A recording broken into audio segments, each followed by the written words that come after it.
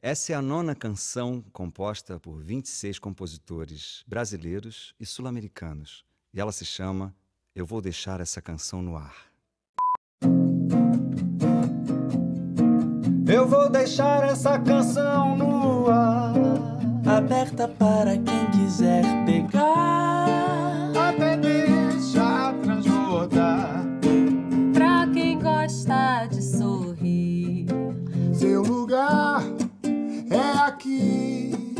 Comigo, minha nega. Eu quero ver em você a vontade de viver. Pois viver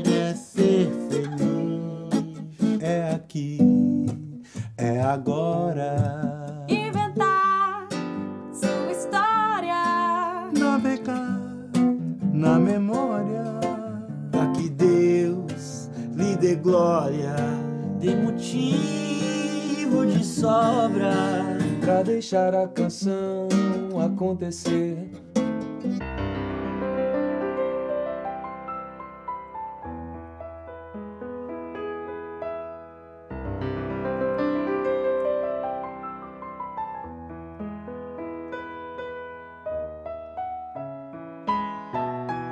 Muy rica la, la, vida familiar de la Casa Páez. Era una casa de clase media trabajadora, clase media baja, te diría, en un sentido. Pero en ese momento, en los años fines de los 60, comienzos de los 70, escuchaba una música extraordinaria, porque la música popular del mundo era una música extraordinaria. Mi padre escuchaba las orquestas de tango de Troilo, con eh, cantantes como Roberto Goyeneche o Edmundo Rivero. Se escuchaba Gershwin, Frank Sinatra con las orquestaciones de Count Basie, de Quincy Jones, eh, Jobim entero, desde los discos de hotel o los más eh, estándares, digamos, ¿no? los que hace él como Wave, hasta Matita Peré, hasta el extraordinario disco que hace Tom con Sinatra y Klaus Ogerman, de arreglador. Eh, lo recuerdo como uno de mis discos eh, centrales en la infancia, ¿no? Eh, un disco al cual volvía permanentemente. ¿no? Después los discos de Mercedes Sosa, que en esos años eh, hubo una época de gran inspiración. Ella trabajó allí con Ariel Ramírez como músico y con Félix Luna como letrista. Y hubo tres obras cumbres que fueron La Misa Criolla, Mujeres Argentinas y la cantata sudamericana, que eran obras modernistas basadas un poco en el folclore argentino, ¿no? que a la vez decir folclore argentino quiere decir eh, el conservatorio europeo mixturado con la música popular folclórica del interior de Argentina. O sea que sería el, otro fenómeno popular que no era el tango. Ahí comienza a surgir eh, sobre el final de los 60, comienzo de los 70, el rock, lo que se llamó rock nacional, lo que Charlie muy graciosamente en el momento llamó el rock nacional, fue el próximo pilar eh, histórico que funda la continuación de la música popular eh, argentina, ¿no? Los continuadores de todos estos autores, te digo, del, tango, que son, no vamos a nombrarlos ahora, pero son muchos, y del folclore. Eh, y estos autores son Charlie García, Luis Alberto Spinetta, Lito Nevia. Eso fue lo que empecé a escuchar yo eh, ya por curiosidad, o Box Day, los grupos de rock que estaban en esa época como surgiendo, ¿no? Eh, eh, más los grupos gringos, por supuesto, Zeppelin, Deep Purple, los Beatles, que yo los descubrí cuando ellos estaban separando en los años 70. Y después en mi casa tocaba, era, había, había un piano, entonces en ese piano había tocado mi madre, eh, que mi madre fue una concertista de piano que daba sus conciertos con obras de Debussy, de Ravel, de Tchaikovsky, de Schumann. Por supuesto que ese piano era intocable, porque era el piano que había tocado mi madre, y una vez que murió mi madre, cuando yo tenía ocho meses, era como una especie de ataúd más que un piano. Era un objeto inabordable, te diría. No, eh, no toquemos el piano de Margarita. No, entonces fue difícil acercarse al piano. Pero inevitablemente la influencia de Charlie García hizo que, que yo casi lo violentara al instrumento, ¿no? Y exigiera pedir su llave y abrirlo y cada vez empezó a abrir más. Y el primer contacto que tuve con ese piano fue una noche que daban una serie que se llamaba El hombre que volvió de la muerte, que era una serie de terror. Durante una cena pedí la llave del piano, me la dieron, entonces en un momento bajé el volumen del televisor, levanté la tapa del piano y empecé a hacer unos clusters, ¿viste? En, en los graves. ¿no? Una música de terror. Ya estaba haciendo cine, estaba pensando en el cine, supongo.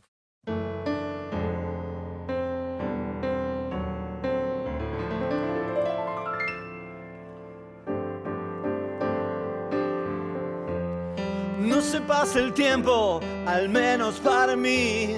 Ya tomé pastillas y sigo sin dormir. Miro a los costados, nada que amarrar. Ya no existen lazos, alguien cortó track, track, track. Todos los perfumes y todo aquel lugar. Todas las miserias y toda la verdad. Cada movimiento del sol en la pared, cada mueble viejo, cada anochecer, yeah, yeah. Dame tu amor, solo tu amor, solo dame tu amor, dame tu amor,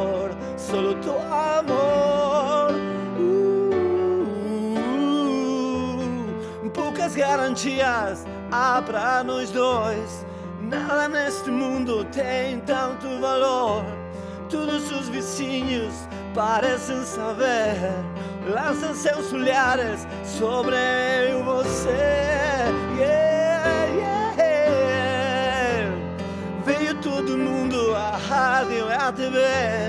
Veio o comissário, anjos do céu também. Todos querem algo, sangue ou não sei que. E todo o universo, nada lhes dá mais prazer. Yeah, yeah. Dame tu amor, solo tu amor, solo dame tu amor. Dame tu amor, solo tu amor.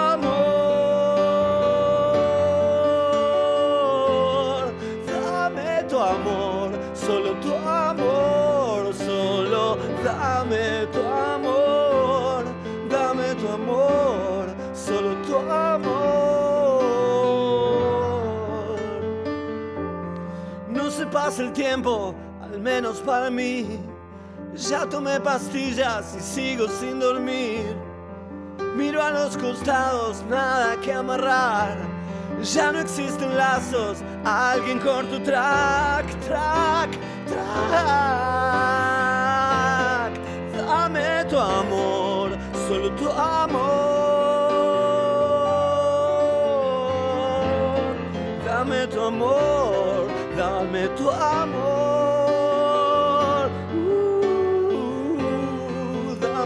amor, solo tu amor, solo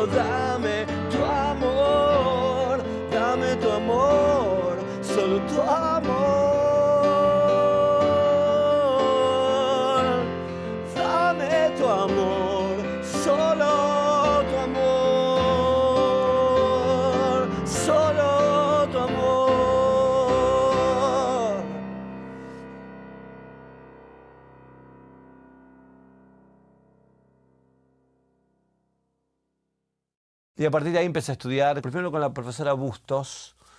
Eh, Bustos en castellano también quiere decir tetas. Y ella tenía un par de, de- de tetonas así muy grandes y era muy divertida. Pero con ella aprendí el Anon, el Cerny, aprendí eh, para Elisa las primeras piezas, ¿no? la marcha turca de, de Mozart. Y después me crucé enfrente al Conservatorio Scarafía, que lo llevaba el maestro Scarafía, que, era, que fue el maestro que le había enseñado a mi madre, que le había preparado para, para ser eh, una pianista, una muy buena pianista. Entonces, eh, digamos que la música fue parte del imaginario eh, y de la realidad, te diría más que el imaginario, de la casa. En la casa Páez se escuchaba música, se vivía con la música. Eh, la música era, era el lenguaje, el metafísico, porque me conectaba con las cosas más hermosas, y también el que me daba placer. Para mí la música es, es como respirar, te diría, ¿no? Oír, tocar, eh, estar en contacto con, con ese lenguaje de la manera que sea. La formación ecléctica que tuve en la casa de mi padre, al haber escuchado músicas de tan, tantos lugares tan diversos, eh, me hizo muy desprejuiciado con la música. Em, por suerte, ¿no? La música es un elemento para liberar y para expresar. Para liberar sentimientos y para expresar sentimientos. Y que eso nos hace más felices a todos, aunque expresemos tristeza. Ese es el gran poder de la música.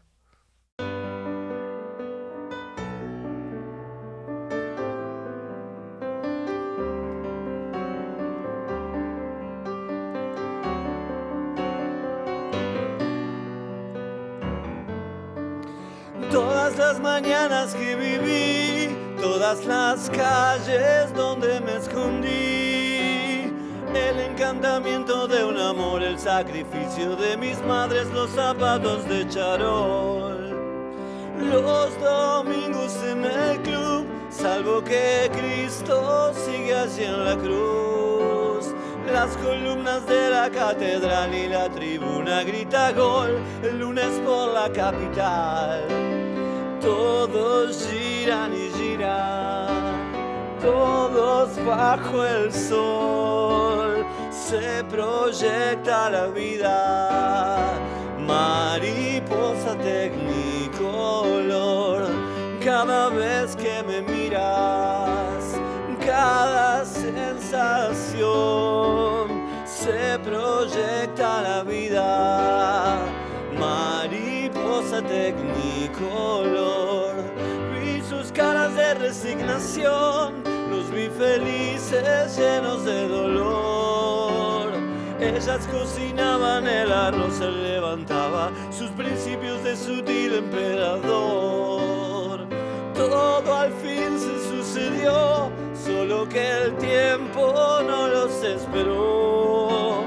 La melancolía de morir en este mundo y de vivir sin una estúpida razón. Todos giran y giran, todos bajo el sol. Se proyecta la vida, mariposa tecnicolor. Cada vez que me miras, cada sensación se proyecta la vida. Mariposa tecnicolor. sure they're gonna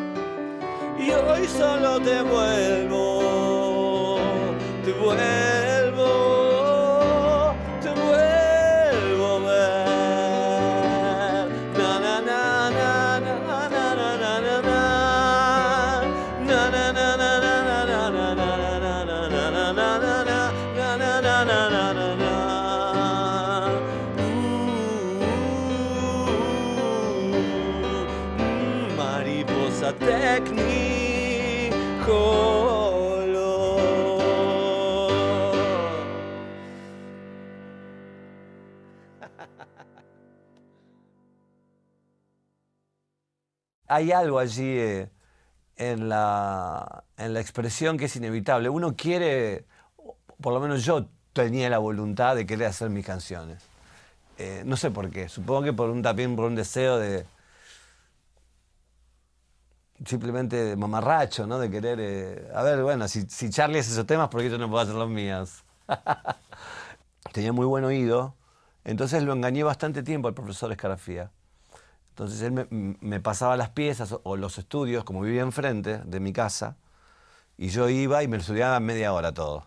Y el resto de las horas que me pasaba en el piano, me pasaba haciendo mis cosas, mis músicas, o mis, mamarrachos, digamos. En todo caso, había un deseo de, de querer, eh, de querer hacerlo yo. No existía la máquina de ahora de la trascendencia y todo eso, ¿viste? No, era simplemente el deseo de querer tocar. Una, una cosa que recuerdo así con mucha nitidez de, de esos años era la, la cantidad de energía que aún, aún, aún, la, aún la tengo, pero de, de otra forma, por supuesto, de, de horas sentado arriba del piano, ¿no? Y de querer, de querer hacer lo mío, ¿no? Eh, de, de- de querer encontrar mi voz o mi canción. O... Yo supongo que, por lo menos en mi caso, es eh, darle un orden al caos permanente. ¿Cuántos acordes hay? ¿Cuántas maneras de combinar los acordes hay? ¿Cuántos instrumentos hay? ¿Cuántas formas posibles de combinar los instrumentos? Son infinitas. Entonces eso te diría que es casi un caos. Hablaba Stravinsky en la poética musical. Dice, yo prefiero tener límites, decía el maestro, ¿no? Porque los límites me acotan y es muy fácil la novedad. La novedad es muy sencillo. Pego esto acá, hago esto acá, pum, pum, pum, pum, y tengo el tango moderno, no sé lo que sea. ¿entendés? En cambio, si tenés límites estrictos, en un sentido, tu originalidad o, tu, o, o las maneras que vas a tener de poner en escena eso que vos querés poner en escena, va a ser más complejo llegar allí, en un sentido. O sea que yo creo en el límite, en, en poner marcos de acuerdo a determinadas obras. Por un lado, te estoy contando mi parte orde- ordenada. Yo no soy así en realidad. Yo soy un tipo muy desbordado, muy apasionado. Ya lo hemos probado ahí en Buenos Aires un par de tardes. O sea, es incluso con, con, una, con una- algo que estaba sucediendo en bambalinas, eh, una cosa personal, no muy feliz. Y viste, cuando llegábamos a tocar, eh, aquello surgía y brotaba de una manera eh, como un cántaro. Eso que decía Mozart también, como que la música se hace así- a- tocándola. Por supuesto que uno puede componer con el papel, la partitura y pensar esto y lo otro, pero cuando la tocas, la estás haciendo y ahí la estás componiendo también. Entonces, cuando uno está tocando de alguna manera improvisando eh, aquello, también es una manera que a mí me, me es muy cálida, o, o con, la cual me siento bien, me siento cómodo un poco en el, en el desorden, ¿entendés? Porque en, todo caso hay un desorden y de golpe can, ya sale el riff y ya sale el riff y se quedan todos temblando en la sala. Y entonces ahí eh, eso también es una forma de armar la música, ¿no? Eh, prefiero la impronta. Ahí es donde yo me siento cómodo, como yendo a la guerra casi te diría, ¿no? O yendo a domar al toro. Eso para mí es la vida, digo. Eh, o yo vivo de esa manera, entonces posiblemente haga la música de esa manera. También. Es importante el conocer el lenguaje, saber de qué se trata, porque vas a poder disfrutar más, vas a llegar más rápido a las cosas, vas a poder descartar más rápido las cosas. Cuando conoces mucho lenguaje es mucho más difícil sorprenderte. Entonces, eh, a eso vamos. Gracias, hermano Fito. Hasta pronto. Ah, Hasta ahora. Hasta ahora. Hasta ahora.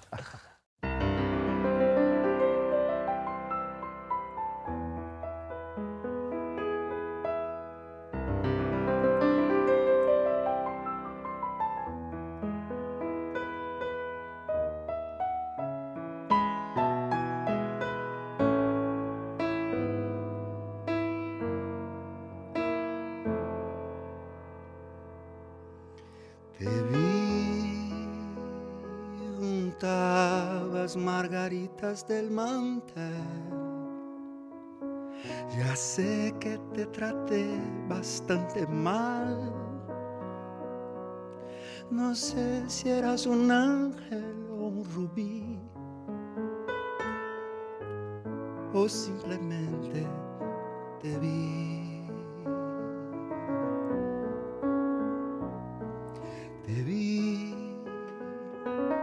Saliste entre la gente a saludar. Los astros se rieron otra vez. La llave de mandala se quebró. O simplemente te vi y todo lo que diga está demás. Las luces siempre encienden en el alma y cuando me pierdo en río, en esta ciudad, vos ya sabes comprender que solo un rato no más tendrías que llorar o salir a matarme. Te vi, te vi,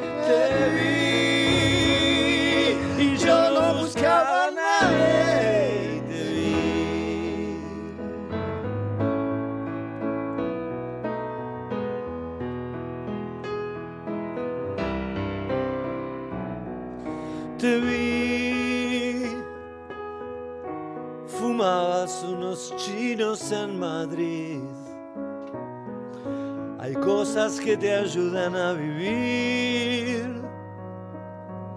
No hacías otra cosa que escribir.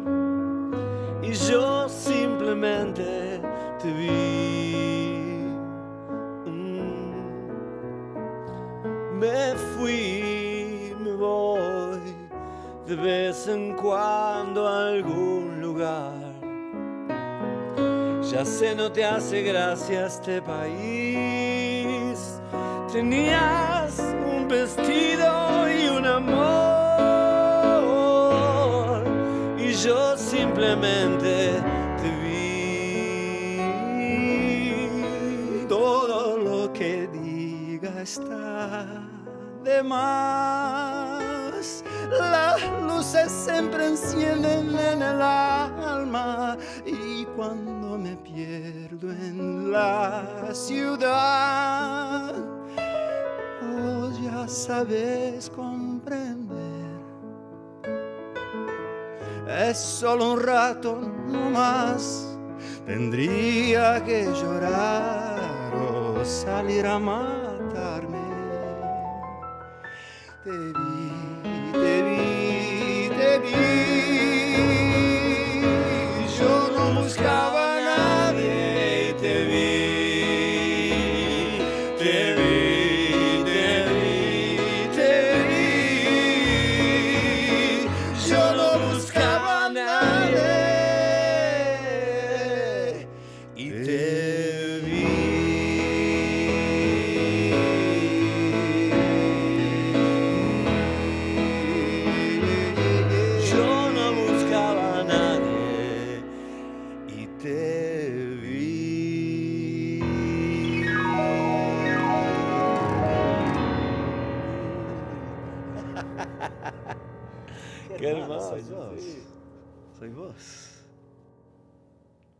Gracias, Fito.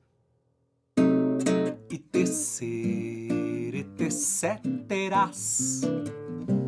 Daqui até o amanhecer. Ilumina o meu querer E que faz sobreviver. Seja um bálsamo pra alma ou um bonde até você.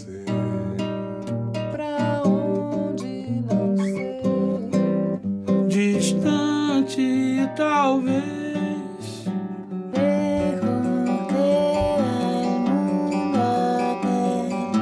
Perto de você. aire de tu aire e a canção vai nascer.